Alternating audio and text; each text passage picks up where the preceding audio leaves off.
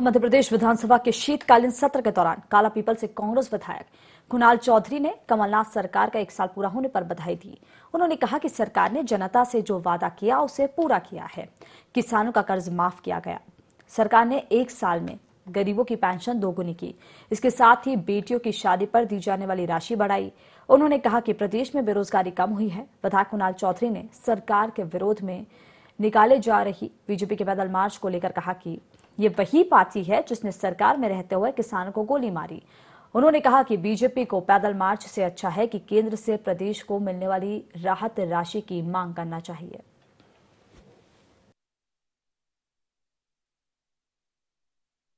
वो काम मध्य प्रदेश सरकार को बनने के लिए हमने कहे थे, इस एक साल में किसानों के कर्जा माफ़ी से लेके, गरीब की पेंशन से लेके नौजवानों के रोज़गार से लेके हर वर्ग के लिए जो लगातार काम किए गए और मध्य प्रदेश सरकार जिस कल्याणकारी कामों के साथ मध्य प्रदेश में काम कर रही है, जिसके माध्यम से देश में एकमात्र राज्य है जहाँ पे बेरोजगारी में कमी आई है, गरीबों की पेंशन दुगनी हुई है, बेटियों की शादी के पैसे इक्यावन हज़ार हुए हर तरफ़ जिस काम को किया है, मुझे लगता है कि बीजेपी किस बात पे पैदल मार्च करने वाली है। एक तरफ़ इन्होंने पिछली सरकार में किसान के पेट पे लात, छाती पे गोली, इस सरकार ने जो शिवराज सरकार ने पाप किए थे, जिसमें कर्जा चढ़ाया था, उस कर्जे को माफ़ करने का काम किया। जो बेटियों के नाम पे नकली बर्तन, नकली चांदी की कमीशन खाया करते थे, आज इस सरकार ने उस कमीशन को खत्म करके बेटियों के खाते में अड़तालीस हज़ार रूपए नकद डालने का काम किया।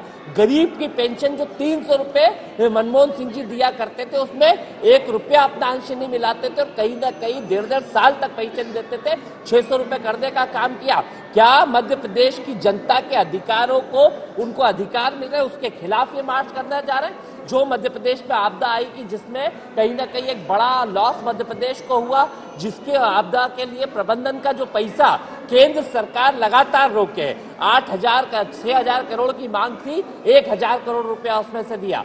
कई मुद्दों में लगभग सत्ताईस हज़ार करोड़ रुपए मध्य प्रदेश सरकार के केंद्र सरकार ने रोक रखे। आए, इस पे काम करें और इसके ऊपर साथ करते तो बेहतर होता। इस बात का पैदल मार्च कर रहे हैं और